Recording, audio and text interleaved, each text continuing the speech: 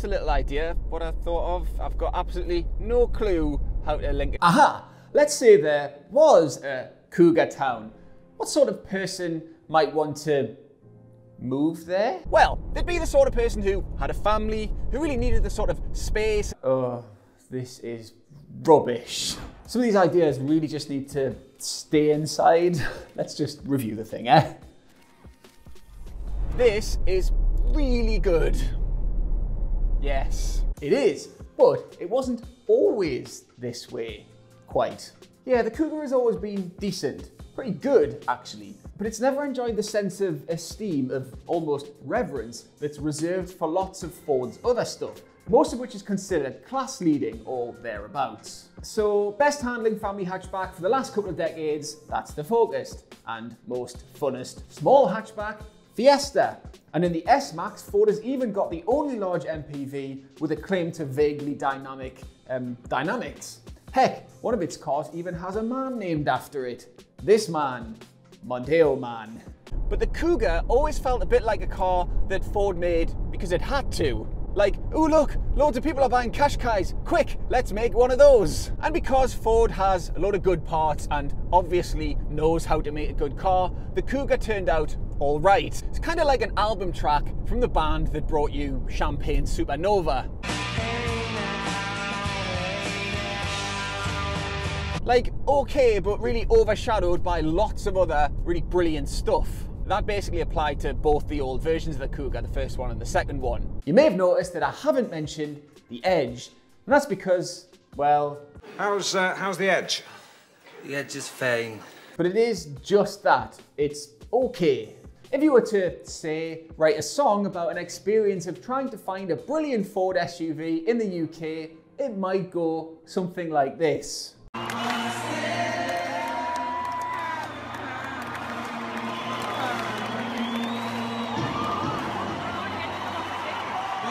The Edge was actually fine, by the way.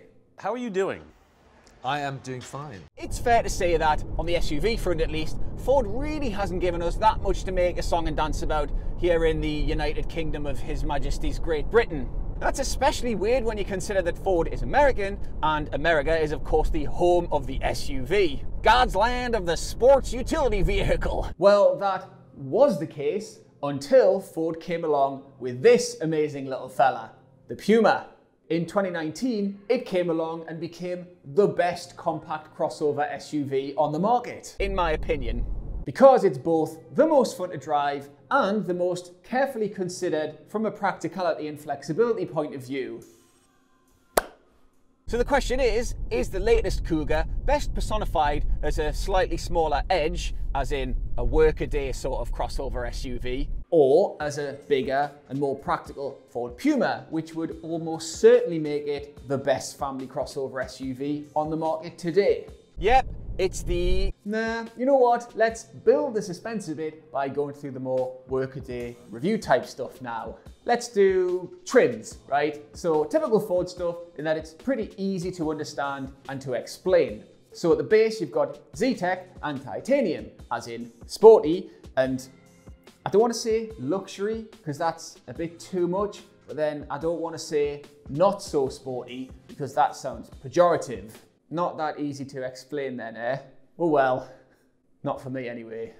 It is though really, because it's split into two is what I'm trying to say. Sporty and sportier, and fancy and fancier. Quite a distinction too, because the trims do change the way the car feels rather than just giving you more or less stuff, although they do of course do that. So here are the base highlights, the Zetec highlights, and honestly, a lot of this stuff could have been on the options list. For example, wireless phone charging, navigation, and keyless start. But get yourself a Titanium. And that spec, in equipment terms at least, is a bit spurious, but again, thought of it, had to do it. nice stuff anyway, right? So you get a digital instrument display. That's nice, assuming you would prefer that to old school dials, of course. But also a power tailgate, stuff like that. It just feels like a lot of car. But then further up at the top level of the trims, there is a real distinction between the sporty stuff and the grandiosity stuff. So your ST line car has a different grille, it's got a body kit, it's got more aggressively styled wheels, it's got red brake calipers, flat bottom steering wheel. But then Vignali, Vignale, Vignale, that one anyway, that's full hoity-toity specification. Its vibe is altogether different. What's a fancy word for vibe? It has an ostensible air of luxury compared to the ST line car. It's got a different shaped bumper and it has leather all over the shop, not outside the shop, but inside the shop. It even has a feature that I like to think of as the spoiled children facility. Heated rear seats. Mm-hmm. I feel like I've talked about spec far too much now, before we move on, I will just point out how much standard safety kit this car has. It's amazing. And what that has led to is a highly sanguine safety report from the Euro NCAP Massive. This is a five star car. Basically, it's so well specced across the board that you do wonder whether Ford is hiding something. Doing the sort of thing that you would expect a budget brand to do, throwing all the whistles and the bells at it in the hope that you will overlook the fact that it has some fundamental flaws or it's just not very good. So is that what's happening here? Because it is a possibility, right? Given what I said about this car's predecessors. Nah, obviously not. It is absolutely Raker, this thing, which is Geordie for mint, which is Geordie for belter, which is Geordie for canny, which is Geordie for good. Not perfect, and I'll come to that, but just so that you know at this stage in the review, in case there is something far more interesting down the sidebar for you to look at, then this is one of the best family crossovers on the market, and it is everything that a Ford crossover should be definitely the Puma plus 20% that I was hoping for. So if you're after one, hit up Vanarama's website for the best leasing deals. And if you've not already subscribed, before you go, please hit that, the subscribe button that is, and hit the notification bell. That way, when we do a video, it'll come up on your phone and you'll think you've got a text message and then be vaguely disappointed, but you might still watch the video anyway, so please do it. Right, the reason it is so good is because, like the Puma, it is in essence, a very accommodating and very thoughtful car. But alongside that, it is also many times better to drive than it really needed to be, as in, you will actually enjoy driving it. The space thing then. Now, it does feel like a half a size bigger than the other Kugas and quite a lot of the other family crossovers for that matter. But actually, not to the extent that it feels all giant on the road. So look at these pictures that I took outside the office of this and last week's Mazda CX-5 parked together. You probably agree that the Mazda looks quite a bit bigger, or bulkier at least, right? But actually, it's the Kuga here that's a bit bigger. It has slightly more space between the wheels and it definitely feels like it's got more rear legroom. But it does that while also feeling that little bit more compact than the Mazda somehow. It's an interesting trick. And generally it feels about the same size as all of these crossover things, as in Qashqai, 3008, Ateca, Tiguan. There are loads of these things now. The boot isn't the biggest in the class, Far from it, in fact, but I think most people will find it a more than satisfactory haul. My particular car has an optional spare tyre which, if you do option it, sits under the boot floor. A repair kit is standard. What that means is that you don't get the twin floor setup. But regardless, the Kuga doesn't have the Puma's underfloor waterproof bucket thing, which I think is an oversight. Having said that, the hatch is wide. When you drop the seats, they fold completely flat. The luggage cover is designed smartly so it lifts out of the way when you open the tailgate. There are bag hooks, which is just a simple bit of plastic, but such a brilliant thing for when you've been shopping. Highly appealingly, the rear seats slide as standard so that you can liberate more boot space to the detriment of legroom if you've got nobody in the back of the car and a big thing to carry. Slide quite far forward they do as well. Up here is where it gets a bit more hit and miss, TBH. Thankfully, the important bits are generally the hits. So the glove box is big and basic. It feels more like a storage bin. Cup holders are really clever. They're adjustable so you can secure your cup no matter what size it is. The driving position is perfect. And the infotainment screen is high set and generally pretty easy to use. Not the best, but not really frustrating either. There are dials and buttons for the things that you want to get to quickly, including one that says tune, like an old AM FM radio. It's quite quaint, I quite like it. To be honest, actually everything below the screen does have the feel of one of those crap old portable CD players that you used to get. It's got track change buttons and everything's all just really small and looks a bit fiddly and a bit naff. But more importantly, it has one of the most spongiest, most loveliest steering wheels you will ever hold. Shouldn't be surprised about that really. Ford has always done an excellent rim job. But again, it is hardly an awe-inspiring design in here. For me, it already looks and feels a bit old hat. So it's soft touch in all the right places, up here and up here, and there's even a little bit of soft touch stuff here where your leg might touch the center console. The elbow pads are padded, and I know that looks are subjective, but if anybody really genuinely believes that this is eye candy of any sort, let us know in the comments. I'd like to hear from you. Compared to the cabin of the Peugeot 3008. It's like comparing an old Dell to a MacBook Air. Same with the outside, to be honest. Now, the Puma is divisive, I know this, but it at least has a distinct aesthetic. It has that Marmite thing happening. Not many people look at a Puma and go, whereas it's very easy to look at a Kuga, in my opinion, and go, Ugh. Ford has played it safe here and ended up with something that's pretty bland and pretty generic. Now, it does look a lot better when it's tarted up as an ST line car like mine was, the wheels and the body kit all look good. But let's go back to our friend from France. You would probably have to agree that the French car looks better. And if you don't think it looks better, it is definitely more interesting. And actually, the 3008 is arguably the Kuga's biggest challenge dynamically as well, because it's probably the only crossover that you would say genuinely gives this car a run for its money on the driving fun stuff. Arguably the CX-5 too, which is also really nice to steer. Having said that, I think that this has, well, the edge. It is way better than fine.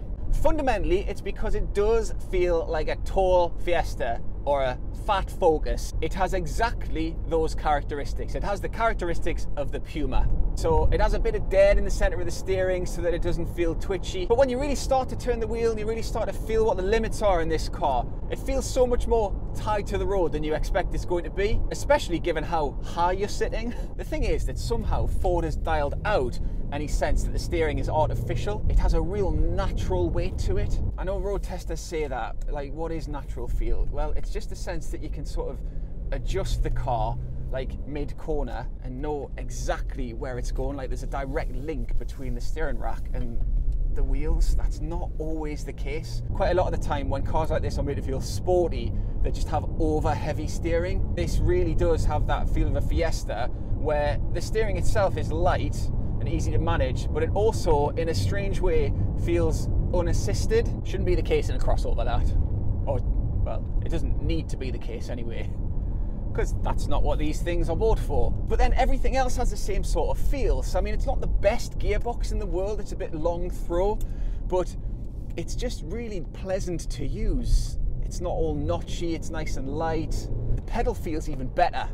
Everything about this car has that classic Ford feel where it feels fundamentally well sorted out, really mechanical, but then also a little bit spongy at the same time, so it's all easy to operate. Firm at its core, but emollient at the same time. Just like there's a bit of foam over everything. That extends to the ride quality too. It always feels a bit busy. This is an ST line car, so it's on 19 inch wheels, which doesn't really help the fundamental ride quality. There's always that sense of pitter patter, you know, like the wheels are picking up everything. But then it feels like the damping is correcting it. The damping's quite soft. What that gives you is this sense, again, that you really know what's happening underneath you. You've really got confidence to drive this thing a little bit faster.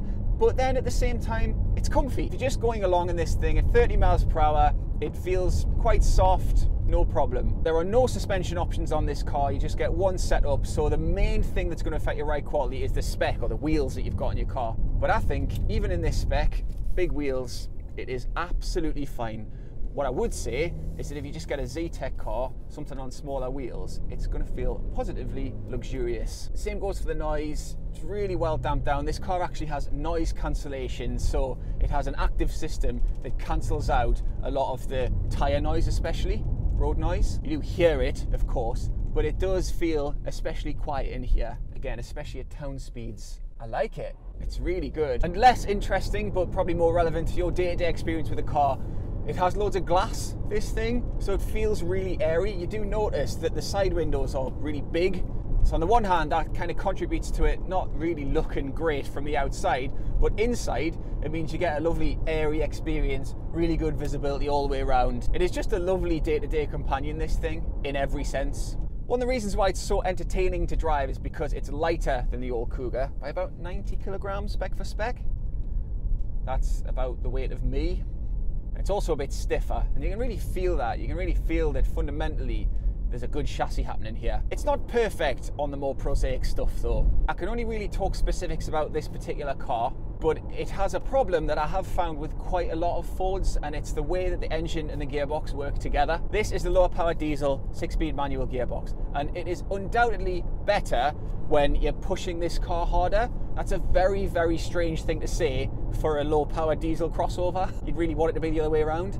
The problem is that it just doesn't have a lot of low end torque, and the gearing has been set up clearly for efficiency. It does work, so over the last 50 odd miles with this car, motorway, B roads, urban, I'm getting 52 miles per gallon, which is really good for around the doors, and I've not been driving it particularly gently either. But it is one of those setups where you do feel like you're shuffling around the gearbox all the time. I'll give you an example. If you're doing 28, 29 miles per hour, the gear shift indicator will tell you to go into fifth. In that case, you're pulling about 8 to 900 RPM and the car just feels like it's going to stall. So you will end up doing this dance with a gearbox where you'll constantly be shuffling between third and fourth and fifth to try and put it in the right place and to try and save fuel. And it just never really feels very comfortable and that's clearly a little bit problematic for a car that will get driven around at 28, 29 miles per hour quite a lot of the time. Similar problem, if you're just about to come to a stop, you're approaching a roundabout or whatever, and then you can go, if you stay in second, there's just nothing there.